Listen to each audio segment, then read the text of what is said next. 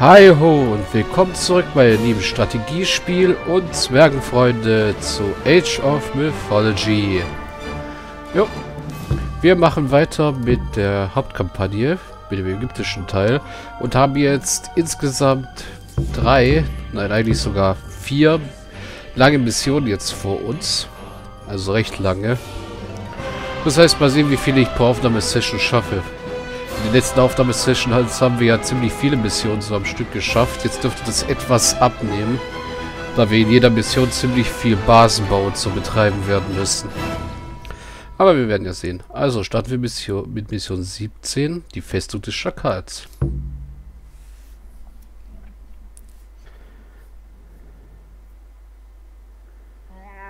Ist dies der Ort? Ja, Gemsitz Festung. Das Stieg befindet sich dort drinnen. Sind die Männer bereit? Ja, Amandra. Gut. Wenn Kemsitz sich dort aufhält, rührt ihn keiner an außer mir. Die Bauern hier müssen ihres Inselnachbars überdrüssig sein. Vielleicht helfen sie uns. Garrett, into you. Into you. EU refer. UER. UER. UER. Also gut, wir haben ein paar Kamelreiter Into you. In UER, UER. und Amanra mit zwei Axtkämpfern. Into you. Hallo Rhinoceros.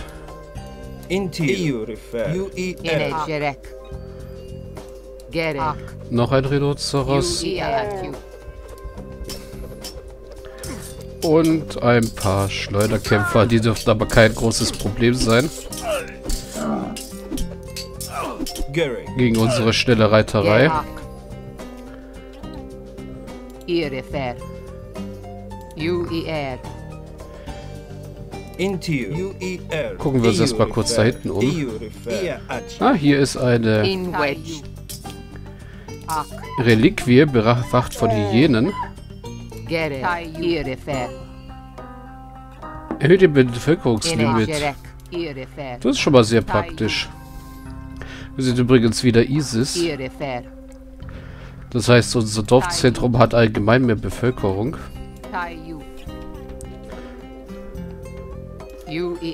Das wir jetzt gleich einnehmen werden. Hört mich an, Volk des Nils. Ich bin Amandra, die Feindin von Kemsit. Helft uns und wir werden verhindern, dass er euer Land weiter plündert. Wir helfen euch. Bringt dem Bauern im Flussdelta die gute Kunde, Amandra. Rechter.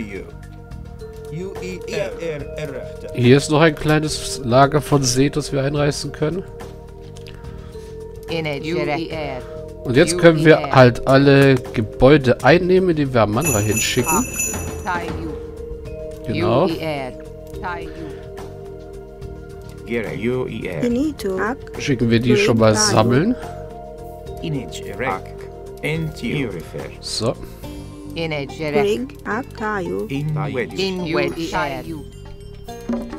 Und bilden am besten gleich noch mehr Dorfbewohner aus. So, ihr könnt das Ding noch zerstören.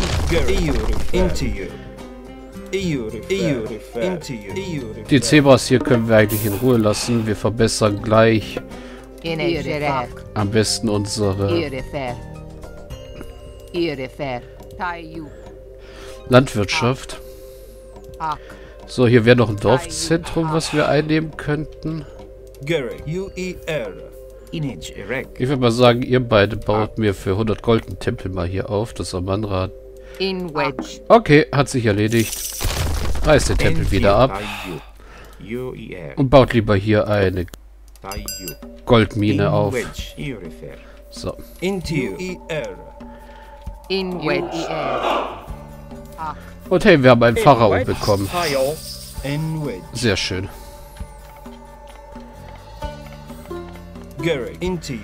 So, die beiden werden weiter Aufklärung betreiben. Wir müssen noch die anderen Gebäude hier nämlich einnehmen.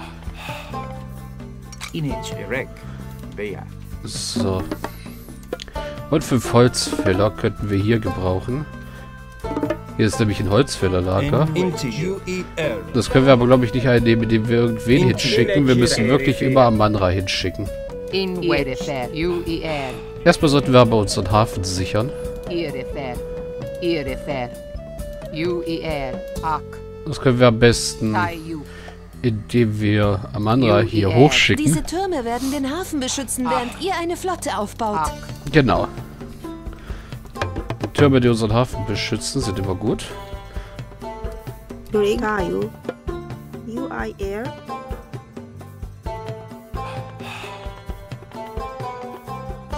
Wir brauchen jetzt aber allerdings erstmal mehr Holz für Mhm. Forschungen.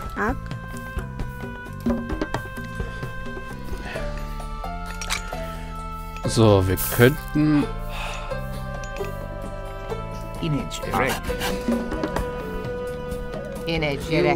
Ja, was könnten wir denn? Ja, nehmen erstmal das Haus hier ein, Amandra, während UER.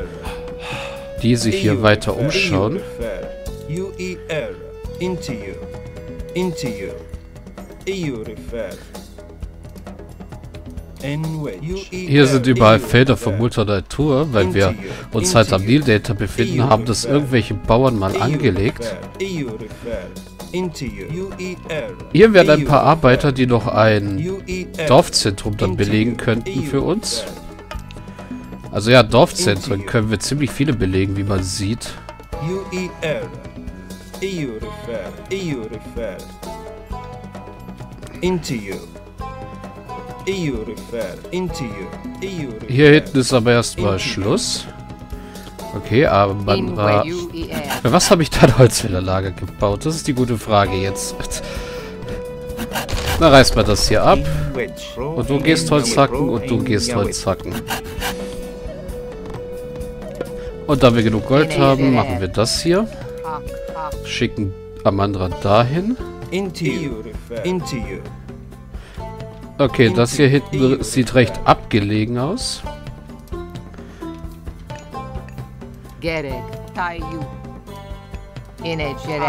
Die Krokodile lassen uns zum Glück in Ruhe, da es keine Krokodile des Seth sind. Oder des.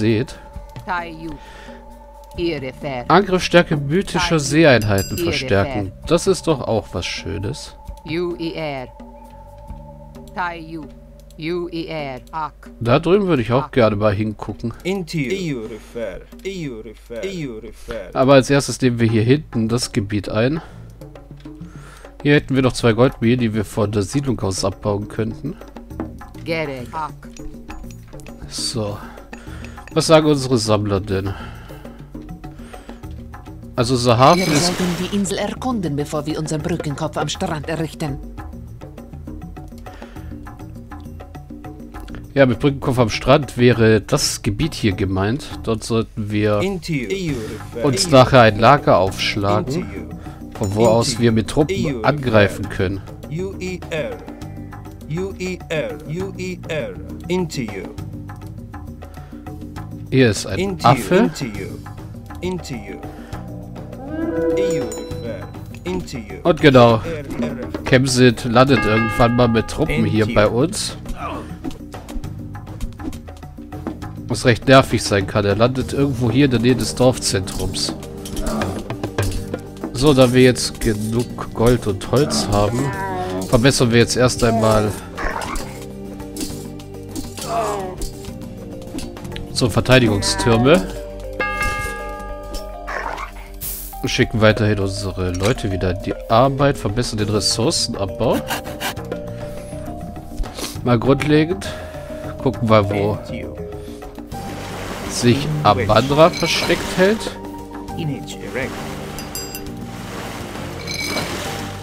Wir können Leviathane bauen.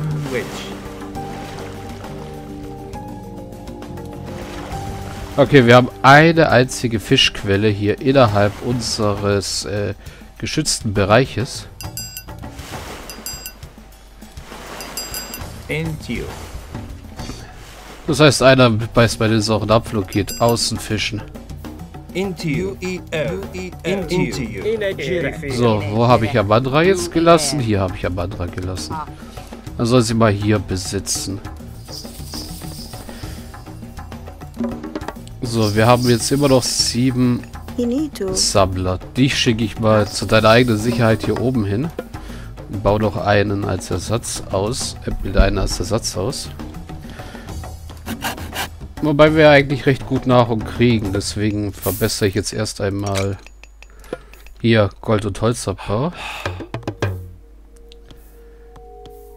Pech brauchen wir nicht unbedingt. Erstmal Sichtweite für In Gebäude. UER. You. bauen. Pharao und der eine Arbeiter hier die Dinger weiter. Dorfzentrum kostet 400 Holz. Das besetzen wir dann halt auch gleich mal am besten. So, und du bringst die Reliquie auch noch in den Tempel. Dann haben wir drei Reliquien. Erhöhtes Bevölkerungslimit für Dorfzentren ist schon mal nicht schlecht. Angriffsstärke von Türmen ist auch nicht schlecht. So, mehr Sichtweite. Und dann werden wir das Dorfzentrum hier besetzen und hier irgendwo mal eine Migdol-Festung errichten. Hier oben wäre relativ viel Gold. Da wir Gold mehr brauchen als ähm. Holz, werde ich noch zwei weitere. Goldabbauer einstellen. Auch wenn das Goldvorkommen recht klein ist, haben wir hier unten zwei große. Die werden also das Dorfzentrum hier besetzen. Aber du hilfst jetzt erstmal beim Bauen. Ich will die ersten drei Monumente gerne gebaut haben.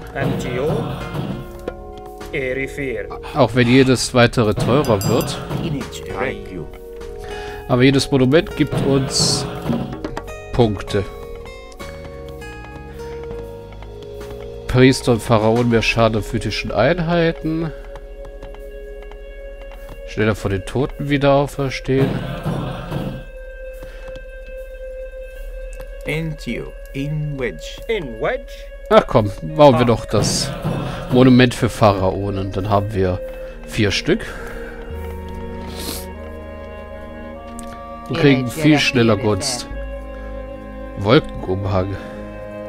Macht so satt widerstandsfähiger gegen Durchschlagsangriffe. Ist auch noch nicht schlecht.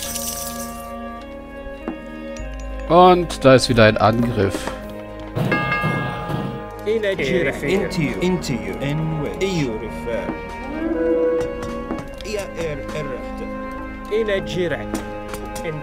Okay, nervende Angriffe.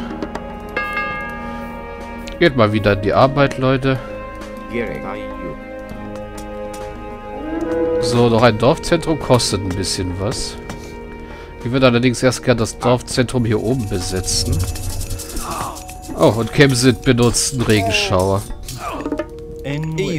Wie viele Häuser habe ich eigentlich im Augenblick? Sechs. Also erhöhen wir mal unser maximales Bevölkerungslimit auf Maximum. Oh, das geht sogar unseren Feldern. Sehr schön.